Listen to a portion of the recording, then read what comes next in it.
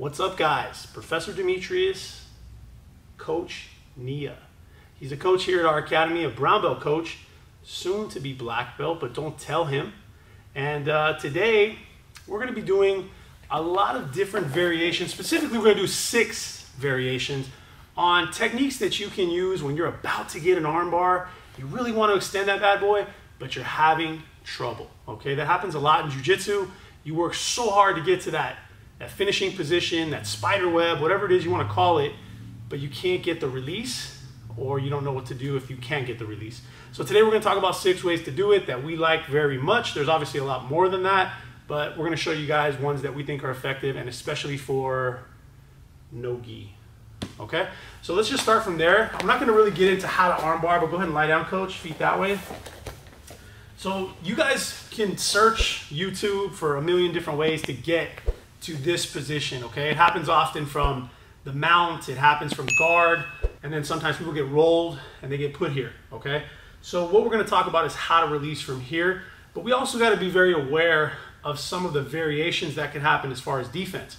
Like sometimes the person's gonna be holding their arms with like an S grip. Some people are gonna do palm to palm, like a gable. Others are gonna do what Erik Paulson used to say, the Italian salute, where they kind of go here like this. Basically, there's like a protector that's holding this arm from being extended. There's a lot of different variations that could happen. And some of the moves that I'm going to show you are better for, you know, maybe one, and then others might be better for another. So we'll kind of talk about that as we go along, okay? But the first thing I'm going to give you is actually like a bonus move because really none of this is supposed to be super basic. It's supposed to be fancy. It's YouTube. You guys got to enjoy it, right? But if they are palm to palm, and you feel like you're here trying to pull, I just want you guys to know that this is the least leverage that you could ever pull with is right here from the elbow, okay? I always like to pretend that this is a rusty steel bar that I need to go clink and kind of open, right? It's, if it's hard to move, you're not gonna start from the lowest point. You're gonna start from the highest point and try from there because that's maximum leverage. So what I want is I wanna pull from here. I wanna pull from Nia's wrist, not from his elbow. But you see tons of people in academies getting to here and they're just going crazy. Veins popping out of their head, they're pulling back, and it's just not working, but that's because they're here. What we want is to get over there. So again, this is kind of the bonus move. It's not even part of the six moves, but I think you guys will enjoy it. I'm gonna go ahead and lean forward, not back. That seems a little counterproductive, but I'm gonna lean forward and I'm gonna place my hand on this, this entire unit here. So I'm gonna hold on to his hands that are holding each other now I'm gonna see if I can kind of bring myself to the side and push his elbow into my armpit. What that allows me to do is move my hand a lot closer to his wrist. And sometimes from here, if I start to lock in and I lean back, I get a ton more leverage for the finish than if I were simply trying to extend this way. Turn a little this way, yeah? Yeah, right there. So look, you can see from here, no leverage. What I wanna do is lock this in. Sometimes I even shove the elbow itself and then go. But once I get here, there's a really good chance that I'm gonna, I'm gonna compromise that grip and get the full finish, okay? So that's one of the ones that I really like. Now, if I wanna get a little more complex with it, I feel like the next one is one of the highest percentage ones that I use, and it does also release the armbar. So what I'm gonna do, especially no gi because I don't have a lot of grips, is I wanna start to control the person as best I can, okay? The way to do that for me is to kind of take my hands, lock them in, and make a little switch here right? Now, if you see space, you can do it with, with the second hand like so. But sometimes they're really tight and it's hard to get the second hand through, but you already know you got at least one arm's worth of space in there. So if you wanna go like this and just kind of shuck it through, that usually works pretty well. Next, turn this way a little. This one's gonna be best for here, okay? So next, what I'm gonna do is I'm gonna look to grab my partner's leg. I think in the EBI tournament, this is an option for overtime. They call it spider web. Okay, so this is a good start. It really stops the person from fully getting up. If you control the close side leg, even if they start to swing up and they get rid of this leg, they're gonna get about that far and they're gonna end up rocking back. So it's really, really hard to fully escape when the person's holding your leg, okay? But here's the thing. I wanna get rid of that protect, protector arm. His left arm is a protector, his right arm is the one I wanna kill, okay? So the idea here is I don't want this kind of configuration because look, if I push this, it does nothing for this holding, okay? What I'm gonna actually do is I'm gonna be here, I lock the leg, and I'm gonna kind of bring the leg close. And at first, I'm just gonna kind of see if I can bully it and just lean it back, pull a little back. Now the first chance I get, this hand over here is gonna go grab with a monkey grip. It's gonna go here, boom. And I'm gonna pull this off.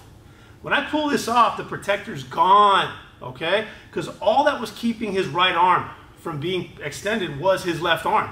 Now I removed his left arm, okay? Next, I'm gonna take my hand and kind of come up a little, pull back, lean, finish. Okay, one more time. So again, this is for the Italian salute type of configuration of arms, right? So I go here, boom, I lock here. Now I'm gonna reach up, pull. Very hard to stop that. And the more he extends his leg, once I get here, the more he's helping me to extend the arm that's on top. So it really doesn't make a huge difference. Now I can grab this one closer to the wrist, start to lean back and finish, okay? Some people ask me though, they say, Professor, you're kind of a big guy, and you know, it might be easier for you to scoop this leg, whereas for me, I can't scoop the leg. That's fine. If you can't get it, then it's all good, but try to get tight, try to get close. You can even cross your feet here. It's a rule uh, that we try not to do from the guard. We don't cross our feet, but from the top, you can cross your feet. And then from here, you can just do the exact same thing. I can grab like this and start to pull. And the good thing about it is Nia doesn't really see that coming, you know, like obviously here he would, but because my leg is right over his face, it's really hard for him to see when I'm gonna do this. And most people don't, they just go back. So you wanna pull this way, boom, and then come up and catch the arm. So that's one of my favorite ones to kind of get the release if this is the configuration. We'll talk in a minute more about how to do this one, which we kind of started with, right?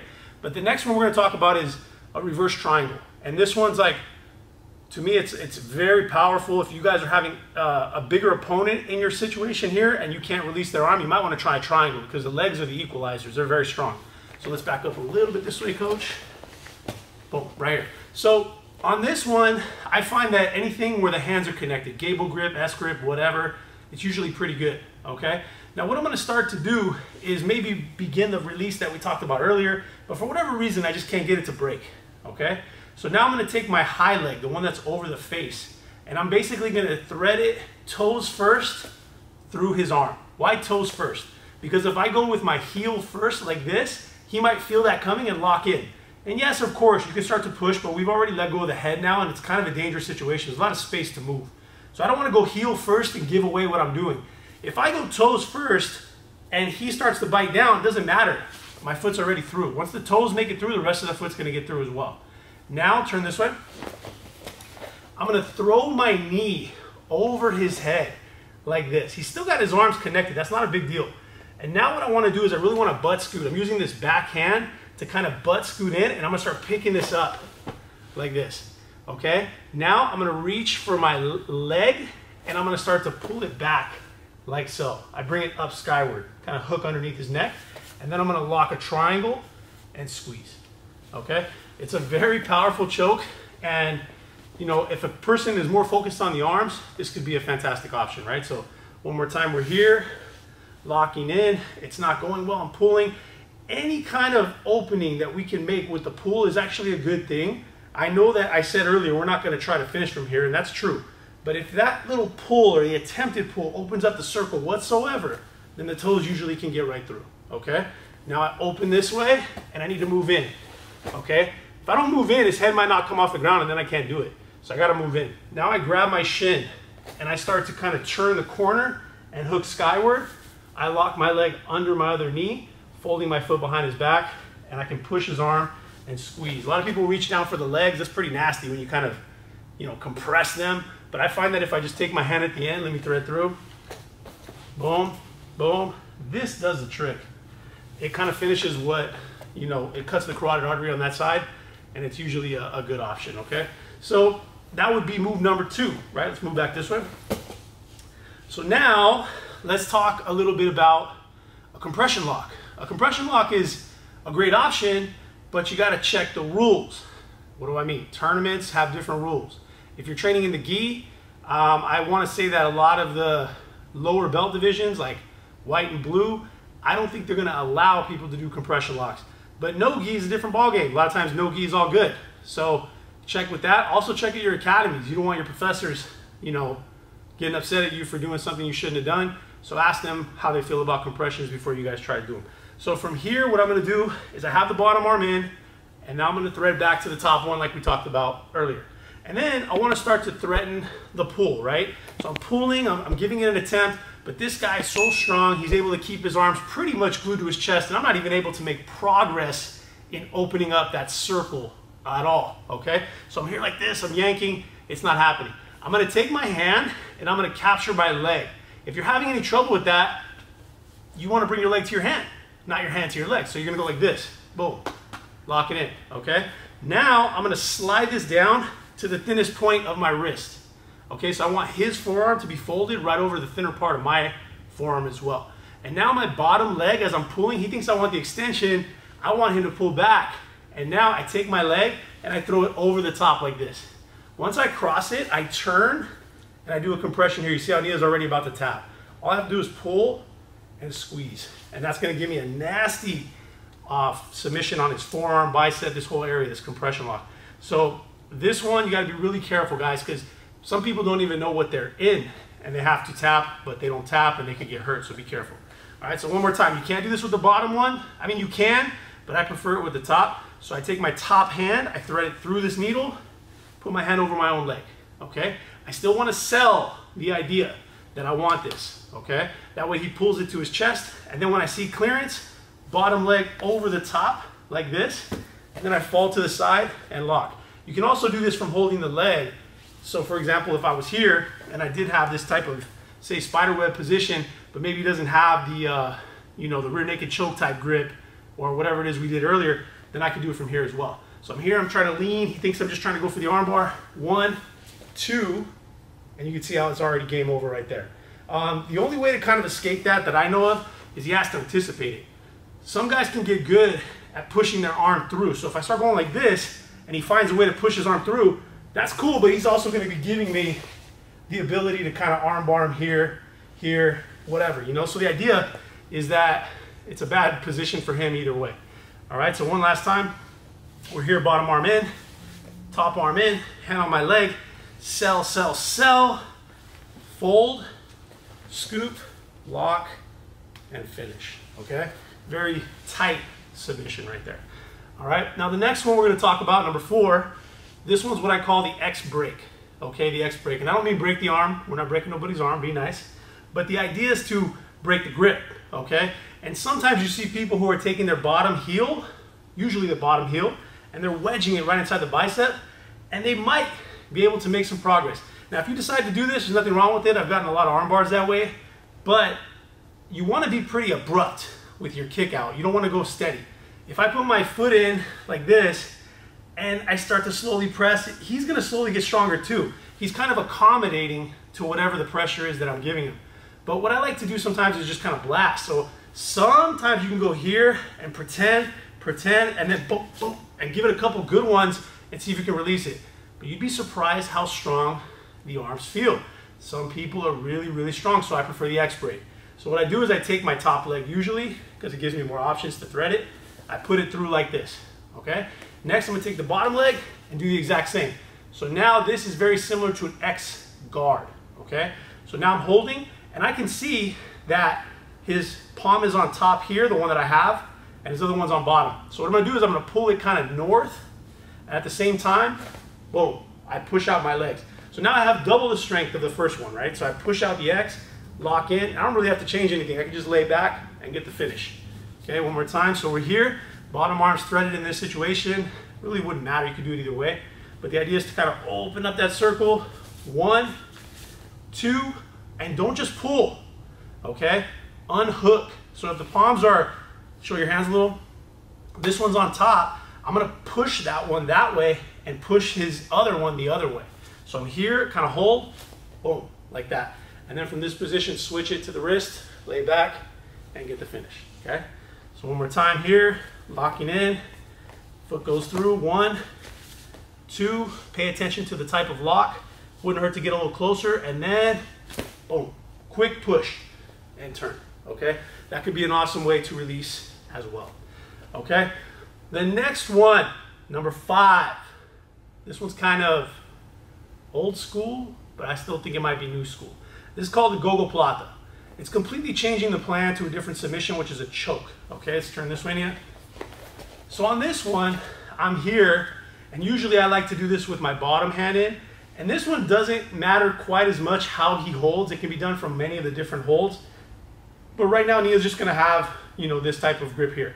Now what I wanna do is I wanna move my bottom south.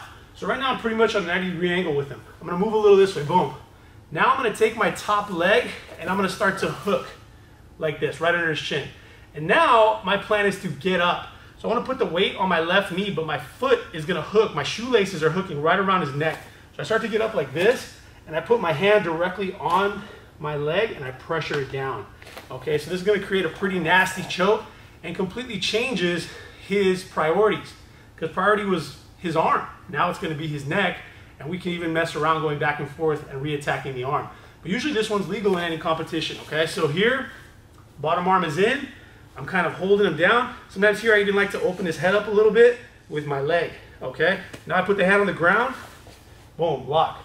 Now I put my hand right on my heel. Some people will reach back and try to grab their toes. If you want to do that, you can, but I feel like the ground's doing a pretty good job of keeping him there anyways. So I might as well just put my hand behind and start to lean and pressure. That was pretty nasty on you.